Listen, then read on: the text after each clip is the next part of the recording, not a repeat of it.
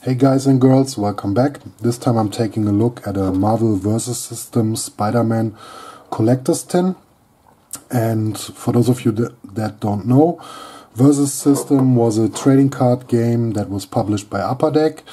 And not only did they do Marvel uh, sets, but they also did DC sets and I believe several other franchises as well. I at least know that there were um, Hellboy cards available back when they were released. This was produced between 2004 and 2009. I don't exactly know how many different sets they produced. And yeah, so this is a collector's tin. This was uh, released very early on. This is so the box, this tin is from 2004. And basically there's four sealed boosters and a promo card in here or a variant card that you can only find within these tin boxes. There were also a few more of these produced. I think there's also a Wolverine available, a Magneto and a Dr. Octopus, I think. So let's just take a look inside the box. Usually these um, are shrink wrapped. Mine didn't have the shrink wrap, but the boosters are still sealed. I took a look into the tin prior to opening it. So here are the four boosters. So these are from two different sets as you can see. There's two Web of Spider-Man boosters and two Marvel Origins boosters. And then there's obviously the variant Spider-Man card. It's a foil card. And supposedly these are only um, only come with the tins. So that's already nice from the get-go. So let's just take a look at the cards. And as far as I know, it's um, the base set isn't too big. It's something like 150 cards. Um, no, I think it's more like 200, but as with most trading card games, you have um, common cards and rare cards, and the rare cards are obviously harder to find, so it's not possible if you acquire a box of these to complete the full card set within one box due to the rarity of the rares, but okay, so let's just get into the cards. So first off we have Plot Twist, Big Bully, Flash Thompson bullying Spider-Man or Peter Parker, Madam Web character cards, Spider Friends, Hammerhead, Sinister Syndicate,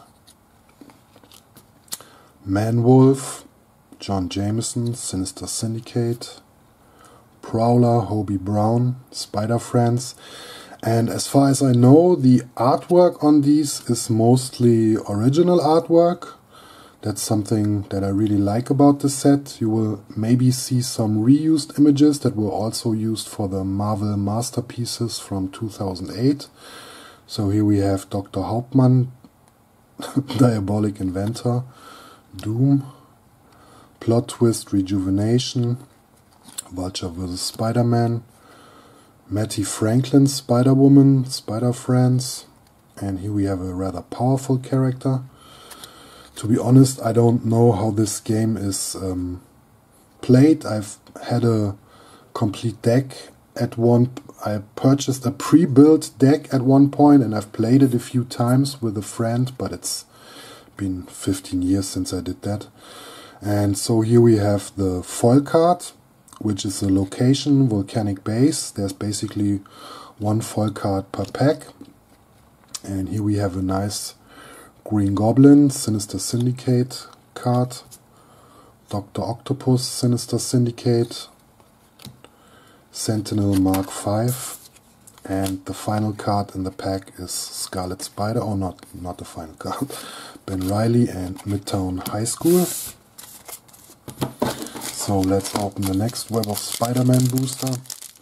And by the way, I got this box for very cheap on German eBay. I found it for 10 euros, which is pretty nice. Usually a booster alone goes for around 5 euros. So nowadays, here we have Dusk, Spider Friends, Boomerang, Sinister Syndicate, Hornet, Spider Friends, Crushing Blow, Plot Twist, Kraven versus Spider-Man, Chameleon, Sinister Syndicate, Shriek, Sinister Syndicate, Twist of Fate,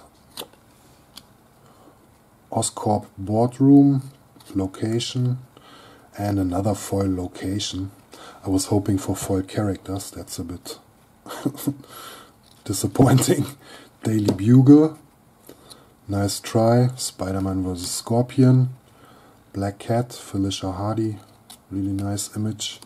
Sadly, a little bit small, but still nice images. Lion's Den, Kraven the Hunter, Location, Hobgoblin, Roderick Kingsley, not Jason Macendale, okay, confusing, and Daredevil is the final card from this pack, so let's take a look at the two Marvel Origins packs, what we can find here, and obviously I'm not gonna do a recap, I will probably do a video at some point where I show off all my Versus cards, but I've also still got a few sealed boxes of these which I will break at some point. So here we have Wild Sentinel, Sentinel, Robot Sentry, Doom, Fantasia, Brotherhood. So here we have some X-Men related cards. Beast, that seems to be the ultimate beast. Tibet, Tibet, I can't say it. Tibetan monks. Foil is the foil card from this pack. Another boring foil card. Colossus, X-Men, Cover Fire. This is, for example, an image that was used on the 2008 Marvel Masterpieces from Upper Deck.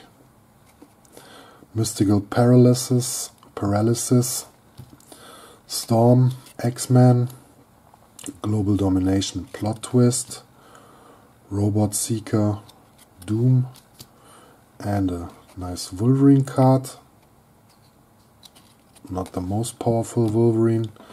And equipment, dual sidearms, and the final card from this pack, Fantastic Four, She-Hulk with dwarf arms. Don't know what happened there. really odd proportions on this image. And the final pack, so first we have Toad from the Brotherhood, Ant-Man, Fantastic Four, okay. Unus from the Brotherhood, the Untouchable, Archangel, X-Man, and another foil location. Whoa, that's sad. Cyclops, tech upgrade with Forge on the image. Victor Von Doom 2, Son of Doom. Okay. I'm confused now. Scarlet Witch, Brotherhood. Powerful card.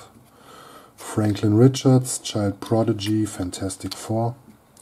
Black Tom, unaffiliated.